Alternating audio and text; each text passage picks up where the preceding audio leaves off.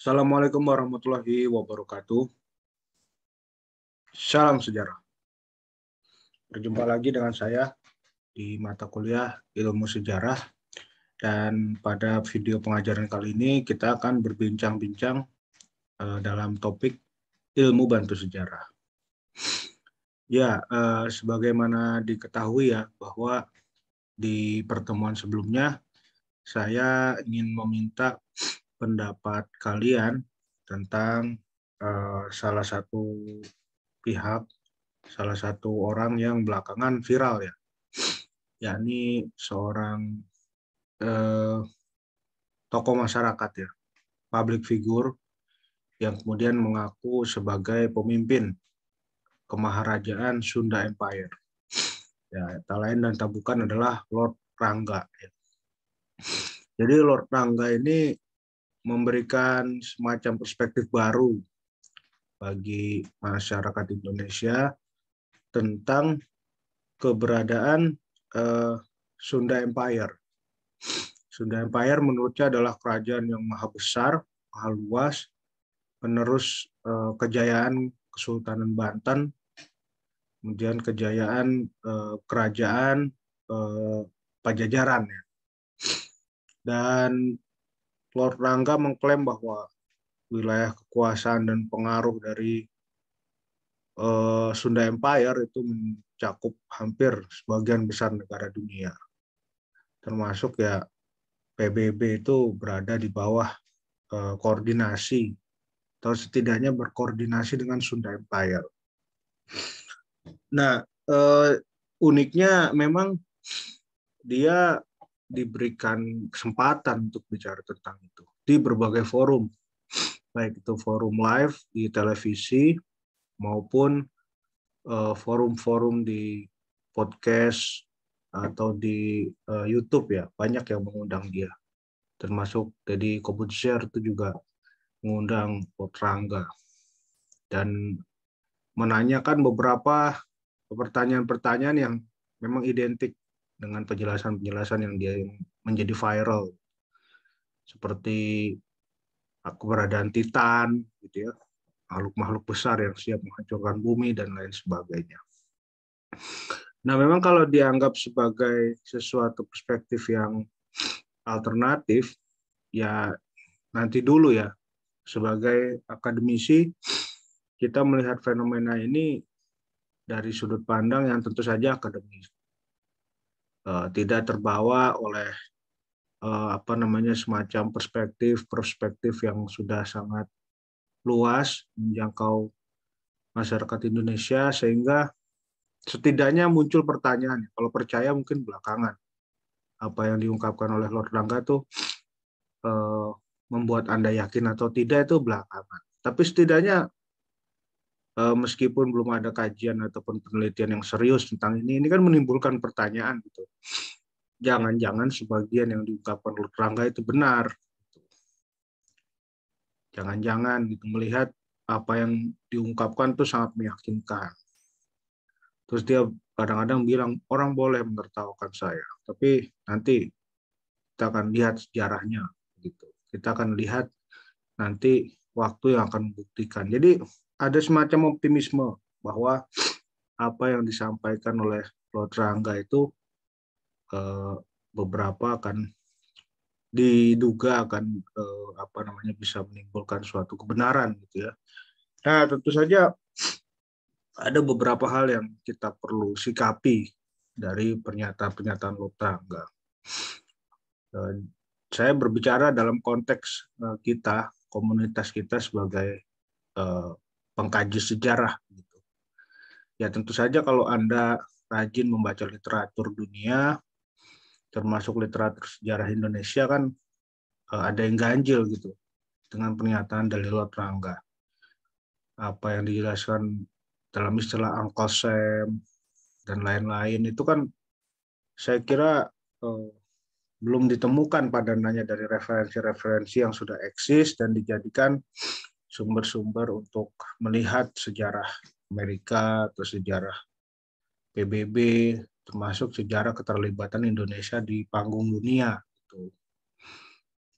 Uh, seharusnya kalaupun Lotrangga itu ingin menyampaikan pendapat, harusnya disertai dengan bukti gitu. Entah itu dokumen, entah itu video pertemuan dan lain sebagainya. Sehingga masyarakat Indonesia itu bisa uh, meyakini, mempercayai, ya minimal based on evidence gitu dari pembuktian.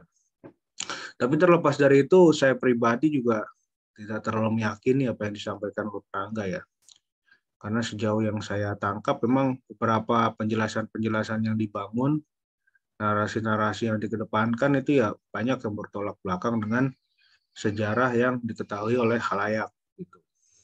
Dan ini juga saya kira ada kaitannya dengan mata kuliah kita hari ini. Kita akan mengenal tentang ilmu bantu sejarah. Gitu.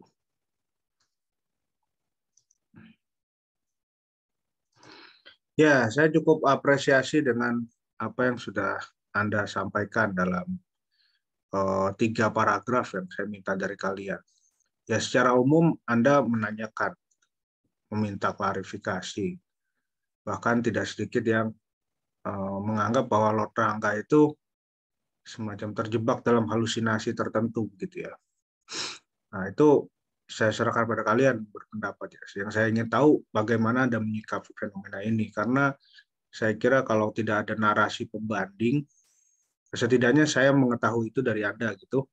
Maka ya kita bersiap-siap akan masuk ke dalam suatu ruang di mana sejarah itu dipertaruhkan kebenarannya. Data itu dianggap tidak penting, yang penting adalah siapa yang berbicara, eh, siapa yang memberi panggung dan seberapa luas pengaruhnya.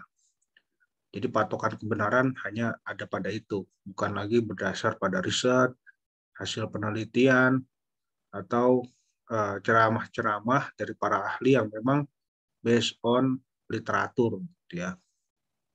Nah, kita perlu mengetahui bahwa yang berkembang di masyarakat, yang berkembang di publik, itu adalah kajian sejarah dalam perspektif klasik. Ya. Makanya kalau kita melihat anatomi dari kajian sejarah. Itu memang tidak bisa dilepaskan dari keempat poin yang akan saya sampaikan ini. Pertama adalah sejarah adalah kisah atau cerita masa lalu. Itu tidak bisa dinafikan. Yang namanya sejarah, pasti kita akan bicara tentang kisah-kisah masa lalu. Kemudian pembagian bahasan disesuaikan topik dan rencana pembahasan. Jadi ketika seorang penulis sejarah ingin uh, memaparkan suatu sejarah ya tentu dia akan taat pada uh, topik atau tema. Dia membahas tentang apa? Misalnya dia akan membahas tentang uh, Kesultanan Banten gitu. Maka yang dia perlu lakukan adalah riset terlebih dahulu kan. Siapa rajanya, lokasi kesultanannya di mana, selanjutnya itu uh, prestasi prestasi Kesultanan Banten itu seperti apa, bisa juga dijelaskan tentang perang-perang untuk mempertahankan wilayah Banten dari VOC dan lain sebagainya. Jadi bahasanya itu pasti disesuaikan.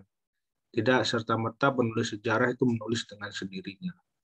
Biasanya dia mempunyai semacam rencana penulisan. Bagian mana yang dia sisir terlebih dahulu sebelum dia berangkat ke bagian yang lain. Gitu.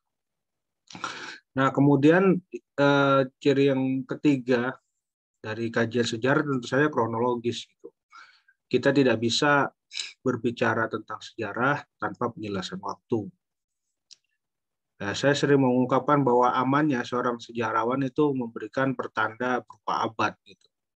Misalnya di abad 19, di awal abad 17, di awal abad eh, 18, akhir abad 16 dan lain sebagainya paling keterangan abad yang paling mudah bisa kita lakukan. Kecuali kalau Anda memang mempunyai daya ingat yang sangat kuat, jadi Anda bisa menyebutkan angka tahun. Saya pribadi tidak mempunyai basic mengingat tahun yang baik ya. Hanya tahun-tahun penting saja yang saya ingat itu pun juga tidak banyak.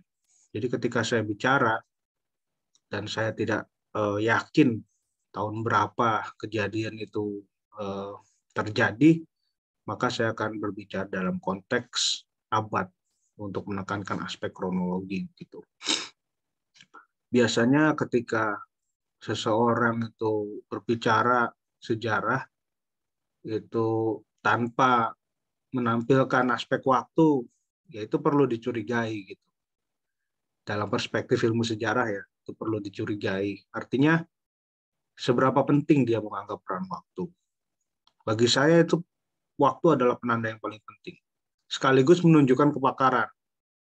Jadi kalau kalian cerita sejarah, nggak tahu aspek waktu, ya itu menurut saya salah satu kesalahan yang fatal. Apalagi kalau sarjana sejarah ngomong tentang sejarah itu waktunya yang lampau gitu atau beberapa abad sebelumnya atau ungkapan-ungkapan tuh saya lupa angka tahunnya. Nah, itu menunjukkan uh, cacat dalam profesi kita. Oleh sebab itu ketika kita dimintai pendapat oleh orang, baik itu lisan maupun tulisan, langsung maupun tidak langsung, usahakan ketika Anda uh, menyisir aspek sejarah, Anda sertakan poin keterangan waktunya. Karena itu menunjukkan bahwa Anda memahami itu sebagai suatu peristiwa yang pernah terjadi. Jadi ketika orang itu ingin uh, menelisik tentang kebenaran cerita Anda, ya mereka bisa melakukannya. Misalnya berbicara tentang uh, kemerdekaan Amerika Serikat pada abad 18. Jadi mereka akan tahu, oh saya kalau mau nyari uh, peristiwa kemerdekaan Amerika Serikat, berarti saya harus mencari di sekitar abad ke-18 literaturnya. Nah, semacam itu. Jadi ada penanda waktu yang bisa Anda berikan. Gitu. Nah, kemudian ciri dari anatomi, ah, maksud saya anatomi dari kajian sejarah selanjutnya itu adalah biasanya berkutat pada peristiwa besar dan orang besar. Nah, ini tidak bisa dipungkiri ya, sejak zaman Romawi, zaman Mesir kuno, Mesopotamia, itu yang dibicarakan adalah aktivitas raja. Jadi raja itu melakukan perang apa? Kemudian raja itu melakukan pembangunan yang eh, prospektif itu bentuknya seperti apa? Kemudian bagaimana hubungan dia dengan kerajaan-kerajaan lain? Jadi pola-pola yang ditekankan adalah aspek-aspek yang berkaitan dengan kegiatan raja. Nah, selain itu, memang eh, kisah dari sejarah itu adalah berlatar pada peristiwa besar. Misalnya tentang perang, kemudian tentang pergantian kekuasaan, terus juga tentang bagaimana eh, terjadi semacam pertemuan dua belah kekuatan yang saling mempengaruhi. Terus ada juga aspek penyebaran agama, baik itu Islam maupun Kristen gitu ya dan itu dijadikan semacam penanda dari suatu abad gitu ya. Yang paling mudah itu kalau kita lihat eh, pemberian angka tahun di dalam perspektif yang lebih umum ya. Kan ada Masehi, ada sebelum Masehi. Terhitungnya sejak kelahiran Nabi Isa Al-Masih. Ya, jadi Nabi Isa Al-Masih itu dianggap sebagai peristiwa besar gitu. Baik dalam konteks keagamaan, agama-agama samawi atau dalam konteks penanggalan dalam perspektif umum gitu. Jadi ada peristiwa besar yang eh, menaungi itu. Terus misalnya kisah tentang Isra Mi'raj Nabi Muhammad yang dianggap sebagai awal ditentukannya sholat lima waktu. Itu adalah bagian dari peristiwa besar dalam sejarah. Nah biasanya kisah-kisah itu saja yang akan dipaparkan, diingat, diceritakan kembali. Gitu. Nah, jika sudah seperti itu, uh, maka ada semacam uh, perspektif yang sudah baku di tengah masyarakat atau pembaca ataupun penikmat sejarah bahwa sejarah itu hanya milik orang besar. Jadi sejarah itu seperti uh, ber, berkembang ataupun berputar di sekitar orang-orang yang memang mempunyai kekuasaan. Gitu. Lantas pertanyaannya bagaimana kalau sejarah itu dikaitkan dengan orang kecil? Padahal kita tahu bahwa perspektif kehidupan manusia itu kan ada konsep the have dan the haven. Jadi ada orang yang berpunya dan ada orang yang tidak berpunya. Nah, orang yang tidak berpunya ini bagaimana posisinya dalam sejarah? seperti apa kehidupan mereka. kemudian bagaimana mereka membangun peradabannya sendiri, atau setidaknya bagaimana mereka beraktivitas di bawah kuasa para raja-raja. Gitu. Nah, akhirnya dari sini timbul uh, suatu perspektif yang dalam kajian ilmu sejarah Barat disebut sejarah mikro ya. Nah, sejarah mikro ini merupakan uh, antitesa dari sejarah makro. Nah, sejarah makro ini yang tadi saya katakan itu biasanya berkutat tentang peristiwa besar dan orang besar. Nah, kalau sejarah mikro itu berbicara tentang uh, sejarah orang-orang kecil, sejarah orang-orang yang berprofesi sebagai petani, sebagai buruh, sebagai nelayan dan lain sebagainya. Nah, memang uh, ketika seorang tertarik pada sejarah mikro, maka dia akan segera menghadapi kesulitan. Salah satunya adalah kesulitan mencari data-data. Jadi sumber sejarah mikro itu yang menceritakan tentang aktivitas masyarakat bawah itu datanya sangat minim sekali. Nah, dari eh, kebuntuan-kebuntuan itulah kemudian muncul suatu kesadaran untuk menggunakan ilmu sosial untuk mendekati data. Jadi karena biasanya sejarawan itu mencari raja dan peristiwa besar dan kemudian ketika dihadapkan pada suatu eh, proyek penulisan gitu bisa dikatakan seperti itu atau rencana penulisan tentang sejarah kecil nah itu mereka kesulitan maka saat itulah sebenarnya muncul kesadaran untuk melihat ilmu sosial dalam perspektif uh, untuk mendekati data begitu. Nah, kalau saya bisa gambarkan bahwa uh, ketidakpuasan ini muncul di Eropa itu sekitar uh, medio pertama di abad 20 ya. Yakni ketika bangsa Eropa sedang bersiap memasuki kancah Perang Dunia I. Jadi eh, di situ mulai dibicarakan tentang kenapa perang itu bisa akhir.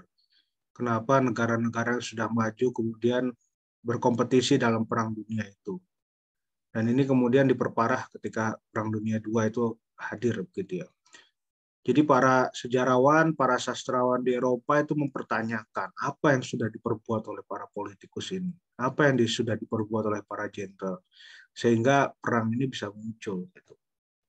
Nah, jadi kesadaran-kesadaran mempertanyakan kaum elit itulah yang menyebabkan kajian akan orang-orang kecil atau masyarakat-masyarakat yang berada di bawah kepemimpinan rezim itu hidup, termasuk dalam perspektif sejarah.